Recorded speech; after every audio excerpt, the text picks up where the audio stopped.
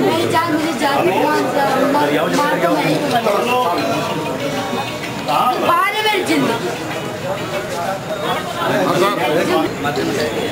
कभी सोच नहीं सकती इतने घटिया घटिया लोग आजमगढ़ में बसे इतने घटिया, इतने बदतमीज आजमगढ़ में लोग